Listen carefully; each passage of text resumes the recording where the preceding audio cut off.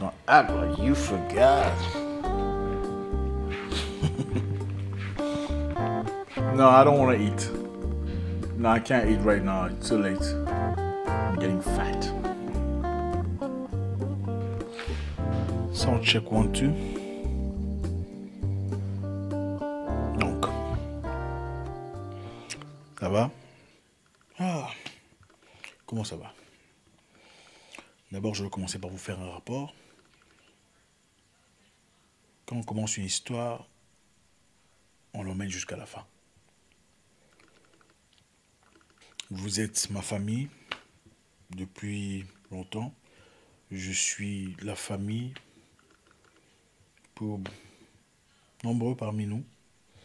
Donc voilà, c'est la vie. On est là. Aujourd'hui, demain, on plus. Bref, je suis allé voir le docteur pour l'histoire que vous connaissez. Euh, on était censé enlever les points de suture, enfin tout ça. Ça n'a pas été fait parce que ce n'est pas prêt, apparemment. J'ai pris des vidéos, mais je pense que ce serait inapproprié de... Voilà. C'est quand même inquiétant, je dois avouer. Depuis jeudi, le jeudi antérieur, ça fait donc jeudi à jeudi, ça fait une semaine. Aujourd'hui, on est lundi, donc vendredi, samedi, dimanche, lundi. donc jeudi, une semaine plus quatre jours. C'est quand même. Je sais pas, je suis pas un médecin, mais je pense que c'est quand même un peu. un peu trop. Je dois avouer que ça m'inquiète, quand même. Euh, ça ne me rend pas plus faible que je ne le suis. Je pense que quand on est quelqu'un d'équilibré, on sait reconnaître qu'on est inquiet, on on n'a pas peur de montrer euh, ses faiblesses quelque part. Bref, euh, on m'a demandé de rentrer mercredi pour revoir. Bienvenue à tout le monde, bienvenue à tous les anciens. Je suis là, j'ai fait des trucs pour me faire du bien, pour essayer de changer de... Voilà, je suis vraiment pas tout à fait bien. Mais euh, voilà, je suis obligé de trouver des moyens pour me faire du bien, tout ça. Euh, merci d'être là avec nous. Merci de partager ce moment d'intimité avec nous. Merci de toujours nous suivre, de nous attendre, quelquefois très tard dans la nuit, à 2 heures du matin.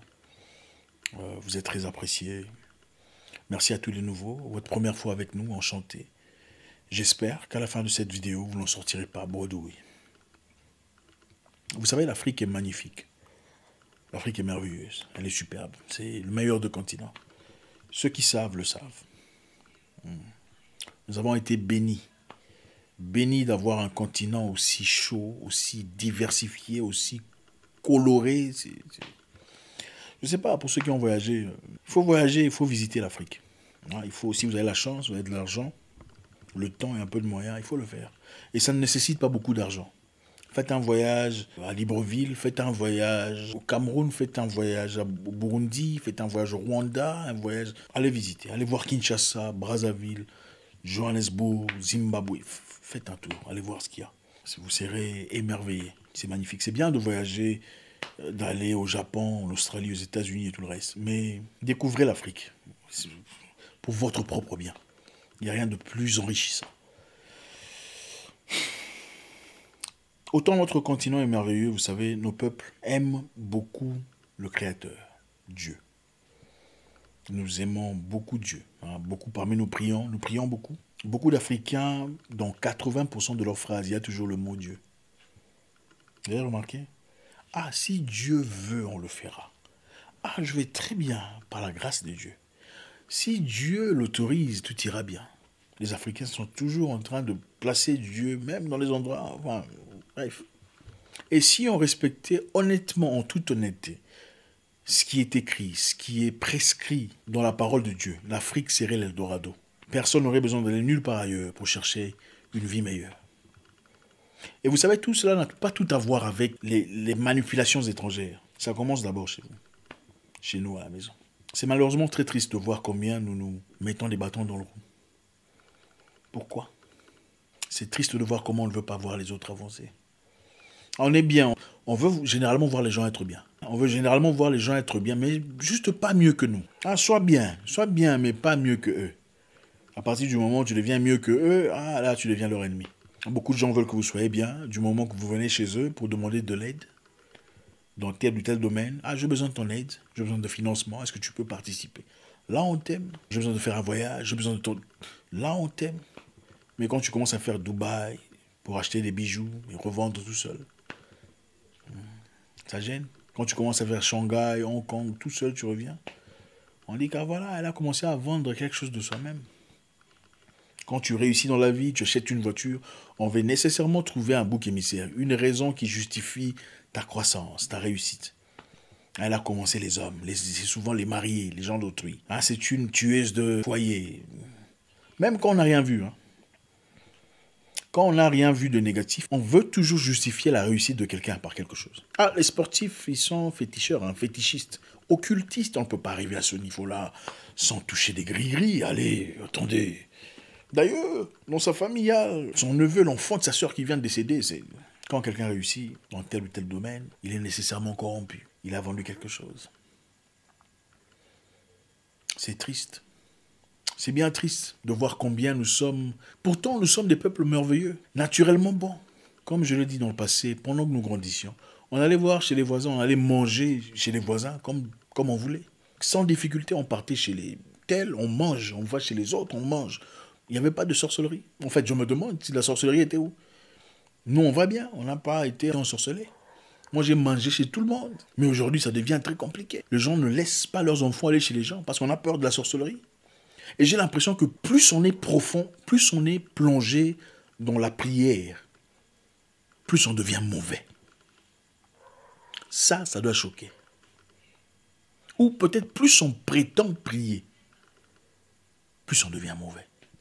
Parce qu'à l'époque, quand les gens ne priaient pas, il y avait difficilement des divorces. Aujourd'hui, il y a des demandes de divorce qui, qui suivent tous les divorces. Quand les gens ne priaient pas, on allait chez les voisins manger sans difficulté. Personne n'était ensorcelé. Quand les gens ne priaient pas, il n'y avait pas des enfants sorciers. Aujourd'hui, on a plein. 15 000 dans une ville de, en République euh, démoclariste de trucs.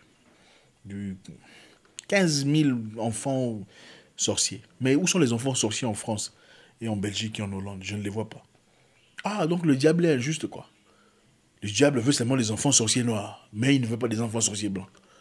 Ou arabes. Ah, ok. Ce n'est pas la prière qui est le problème. C'est nous, les hypocrites.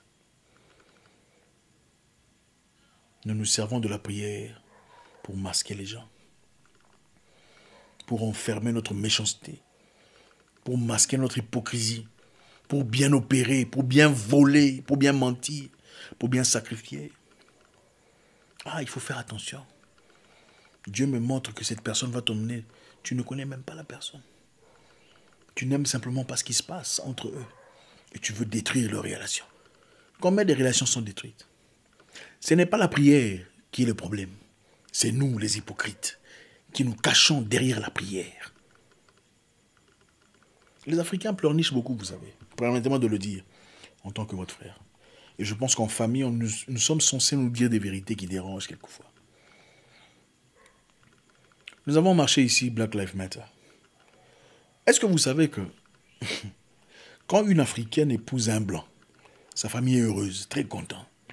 On fait la fête. Ah, Dieu merci, elle a réussi sa vie. Elle va aller en Suisse désormais, la vie sera bonne et tout le bazar. Même quand on ne connaît pas le blanc. Mais quand la même Africaine